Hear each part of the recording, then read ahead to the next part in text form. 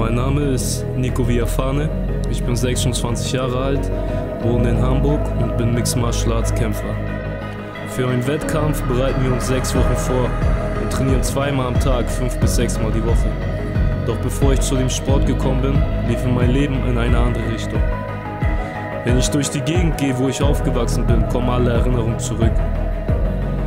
Alle waren in sozialer Not. Ich war umgeben von Jungs in meinem Alter, die genauso perspektivlos waren wie ich. Keiner hatte eine Arbeit oder ein Ziel in seinem Leben. Jedes Wochenende haben wir uns zugedröhnt, bis wir nichts mehr gemerkt haben und haben Stress gesucht.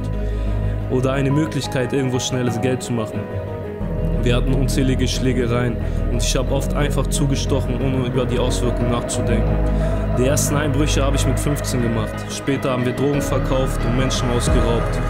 Früher dachte ich, dass man nur ein wahrer Mann ist, wenn man draußen auf der Straße gefürchtet wird und Geld in der Tasche hat, ohne dafür zu arbeiten. Es wurde von Jahr zu Jahr schlimmer. Ich habe irgendwann angefangen, meinen Verstand zu verlieren. Irgendwann hat mich auch meine Familie aufgegeben und vor die Tür gesetzt. Doch dann kam der Sport in mein Leben. Durch ein Urteil, durch das Anti-Aggressionstraining bin ich zum Thai-Boxen gekommen und dadurch zum MMA. Und so hat alles seinen Lauf genommen. Nach dem ersten Training war ich fasziniert, wie respektvoll alle miteinander umgehen. Keiner versucht sich zu beweisen.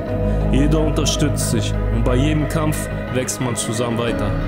Der Sport hat mir eine neue Lebenseinstellung gegeben. Ich habe dem alten Leben den Rücken zugewendet. Denn hinter dem Sport steht viel mehr. Die Leute sehen nur die Kämpfe und denken, es ist einfach nur ein Kampf. Aber wir machen viel mehr dafür durch. Das harte Training bis zur Erschöpfung, zweimal am Tag, fünf bis sechs Mal die Woche. Die Diät, um das Kampfgewicht zu erreichen. Der Druck vor dem Kampf, wenn das Adrenalin in dein Blut schießt und du einfach durch dieses Gefühl durch musst, bringt dich manchmal fast zum Zerbrechen. Doch man atmet einmal tief durch und man glaubt an seinen Traum. So schöpft man neue Kraft. Ich habe viele schlechte Dinge in meinem Leben getan, die ich bereue und die ich niemals vergessen werde. Doch heute weiß ich, meine Ziele sind da, um etwas zu hinterlassen, um etwas zu verändern.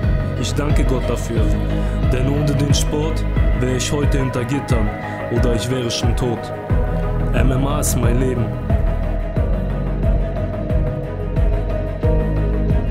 Mein Name ist Nico Viafane und das ist meine Geschichte.